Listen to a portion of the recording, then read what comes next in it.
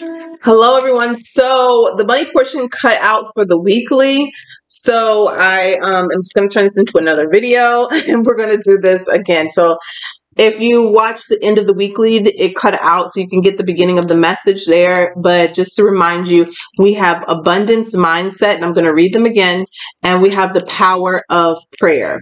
So it says, if you think of your abundance as something that happens in the future, then it will always be one day away from you. See, feel, think, and speak of abundance as something you already have in the present moment.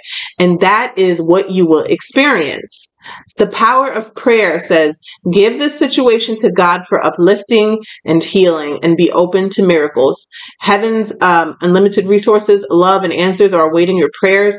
Be sure to act upon the divine guidance God gives to you in response to your prayers. And I pulled some cards here we had, and I just got to this pay your tithes and dues. Um, I also got jackpots. What also came out after that was lawsuit payouts, robbing robbing Peter to pay Paul. So make sure that you're not borrowing excessively, so you don't have enough to pay. We have there's a thief in your pocket in acquiring real estate. So let's take a look here. This is for the week ahead for Aries for their finances. And mind you, just a reminder, the overall energy in um, the weekly was the Four of Wands. So that could also be acquiring real estate. It could be an approval on a home. Um, or if you're renting, anything like that, you could be getting approved for relocating. You could be a real estate agent or a realtor and you're making, you know, an increase in your finances or sales. So see, I'm hearing the right purchase is being made. So let's see here. What is the overall energy for Aries and their finances for the week ahead? The world card. So there's some sort of success here. The world talks about an ending or a closure of a cycle, but it's for your best and it's in your best favor. And look at that, the sun at the bottom of the deck. Tell us any challenges this week for Aries. Queen of Pentacles. The only time I see the Queen of Pentacles as a challenge is that you may forget to take care of yourself. Taking care of yourself is not just like, you know, getting your hair and nails done, things like that. I mean, taking care of yourself as in putting savings to the side, um, paying your bills first. You know, that is definitely a form of self care because it keeps you less stressed out. Um, taking care of your priorities. And, but again, nurturing you too, putting a little bit of money to the side to do some things that you like to do, whatever you like to do as far as creativity wise. Um, maybe you like to have a spa day, you know, every once in a while. Maybe you like some sort of sport or activity that costs a little bit extra money put that money aside for yourself because that is what really fine tunes you and keeps you in the flow. Um, not everything could just be work, work, work, and seriousness, you know? So let's see here. What's advice from Spirit this week for Aries? The hanged man. There's some sort of major decision that you need to make um, that you may it may require you to pause before you do it because there's I'm seeing here with the devil at the bottom of the deck.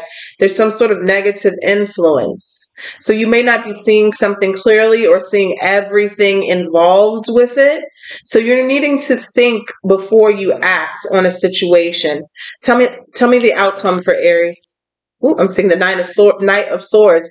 So there may be a hasty decision. Tell me about the outcome for Aries.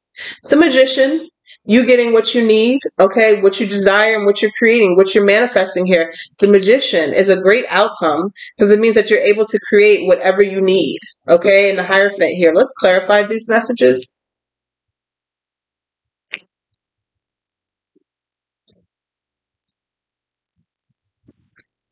I don't see anything bad here this week when it comes to your finances. Um, nothing bad. Just making sure that you're looking at everything um, from every any type of situation, any financial situation. You're looking at it from every angle. That's the only thing I'm seeing here with this hangman. Mm, I'm seeing the Ten of Swords now. Tell me about the World card. Six of Swords. Um, there's a situation that is ending. It's going to bring you more peace. Maybe, maybe you have had a, a little bit of a difficult situation when it comes to your finances. Some of you may be relocating. Tell me about the Six of Swords in the World card. I'm seeing peace though. Yeah, Seven of Cups. There may have been some confusion or illusions in a situation, and you're deciding to move on Me about the world card and the Seven of Cups. Like this is options. Ace of Swords and the Two of Cups. Now we're talking about money here. So this is could be like so some of you could be getting a new opportunity in work, a new business relationship, or a new work relationship here that's going to be better than something in the past that had a lot of illusions or confusion. Some of you, this could be about a loan as well, or um, it could be a home loan. It could be getting something like that where it just, the, the fine print was unclear and you're deciding to go with someone else and it's the best decision. It's the best decision that you could make. So, however this applies for you this air this week, Aries, if you have to move away from something that was unclear with the Seven of Cups here, it was like too many like red tape, or it's just like the fine print wasn't clear, and you feel like you know maybe I should look somewhere else. Look somewhere else because it's saying here when you move on from this confusing situation, you end up exactly where you need to be, or in the relationship that you need to be in, whether that's financial or work wise or whatnot. But tell me about the Queen of Pentacles here in the challenge. The Judgment. There could be somebody coming back around who's wanting you to take care of them. The Hermit. And the Two of Swords. Yeah, so this is kind of like using your discernment. This is like the energy of using your discernment who about anybody who asks you for money this week. Okay? Um, tell me about this because you do got that rob. Um, you do got that. There's a thief in your pocket. Tell me about this. Um, the Empress and the Eight of Cups. This is somebody that you've walked away from.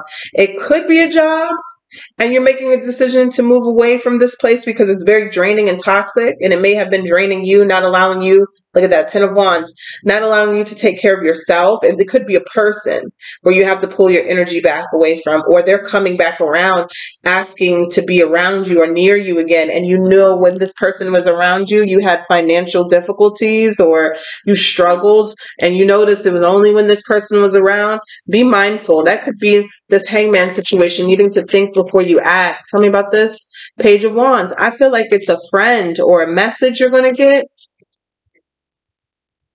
Seven of Wands, Spirit is saying to stand your ground. Whatever this is, Aries, it's all the same thing. There's something that's coming to, it's like somebody's either going to ask you something, they're going to ask you something, and you're needing to think about it. Okay? Because it's not good for your energy. It's not good for your job. I don't know. It's something here that's not good for your job or your energy. Maybe even your home in the chariot, they're saying to move forward in a new direction. Tell us about the magician. The Queen of Wands. Wow. You're on fire this week, Aries, when it comes to your finances and what you ask for and what you're creating. With the death card here, like with the power of prayer and mm, abundance, wow, abundance mindset, remember that your word is your wand. You have the power to create whole new situations, vibrations, energy, and I want to say tax brackets. Because look at this the magician, the queen of wands, the death card, and the wheel of fortune. You have the power to create whatever you desire this week. And I feel like it's because of some action that you're taking or something that you're speaking even over yourself. Okay, this can change your situation tremendously. Let me clarify this will fortune one time. And so, and again, either way because if you speak negatively over yourself it could change it. So there's something here about the energy being very potent this week. So be mindful how you speak. Queen of cups see? Speak over yourself in a very loving way compassionate way. What do you want to have? What do you want to see yourself with? You know what do you want to embody? This is like the type of there's something very positive coming in and this is all about communication there is something about um Ah, I lost my train of thought because that Eight of Wands threw me off. It's something coming towards you, Aries, that you are speaking into existence. And that was powerful. I just watched a video the other day on YouTube because I watch a lot of law of attraction videos. I want to say, I want to know if it was a Louise Hay's video or something or someone like that. Um, but I, I just, I don't know, but I was, and the narrator was talking about how first you get into a very um abundant. I mean, you get into a very um not abundant gratitude. You get into a gratitude energy, right? You start speaking gratitude, speaking in forms of gratitude, and then you and then you start speaking what you want to see you know so you spend like five or ten minutes in gratitude and getting into and then you point your wand so to speak or your word or say what you say what you want to say and it's like magic. It's like magic. And that's what i'm getting here with this magician this queen of wands the death card and the wheel of fortune. It's almost like somebody needs to change how you speak about yourself okay? You need to be more compassionate about your situation about what you want to see. What, what do you want to do? You have to you have to change it. And i feel like in changing that you're going to change your life. You're going to change your life. You're going to change some outcome for sure. And with the four of pentacles you may have been in some sort of lack energy or holding back or you know kind of stuck. This is all about how you speak about yourself and your situation though all right. So that's what I have for you guys. Take care.